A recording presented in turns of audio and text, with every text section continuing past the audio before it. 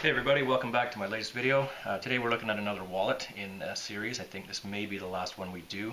This is the Easy Money uh, leather folding wallet. This is from the Firebox people, Folding Firebox, Steve. Um, this is a Kickstarter program that I joined. Uh, I've been carrying this wallet, I just checked, since February of 2017. So that's pretty darn close to uh, 18 months uh, today the video is being made. Um, there will be a picture put in here, uh, a still shot of when I first got the wallet.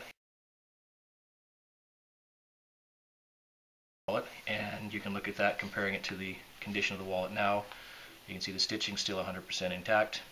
The leather has discolored a little bit. There's a little logo here. You may pick up on Firebox. This little wallet was about I think in the Kickstarter it was about 30 bucks but now it's $40 regular price. It will hold as you can see Canadian money so American funds should fit in there as well as shown by Steve in his video. So um, the money doesn't take up much space Credit cards wise, you can see there's a number of cards in here, and I actually have this loaded a little different. So I put in some of those uh, Capital One cards that they send you.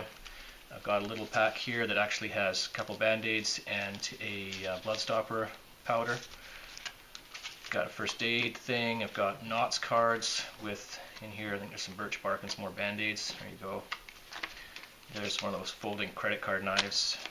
So my work safe certification. Take that off the screen my local grocery store rewards points and some cash and you can see that that is not beat up at all. This rides in my back pocket pretty much all the time unless it's a work day and it lives in either my truck or my work bag. But it's, it's in and out of my pocket a lot.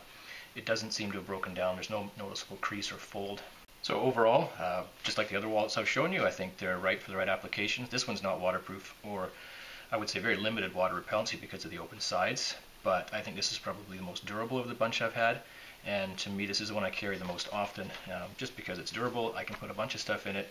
It's all in one place my cash my credit cards my debit card driver's license etc um, you do have to find a filter through as to which one's which but if you're OCD like me you'll find that they'll fall into the same place every time.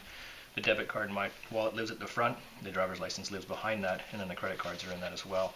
Uh, sometimes actually most of the time I'll carry my credit cards and my debit card in an RFID sleeve and put that in there as well so I like this wallet. Uh, if you'd like to find yourself one, go to foldingfirebox.com and I'll put some links in the underneath.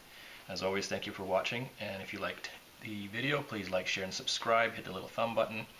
And if you really have lots of time to kill, join me on my Instagram. It's uh, the same name as this channel. Thanks very much. We'll see you on the next one.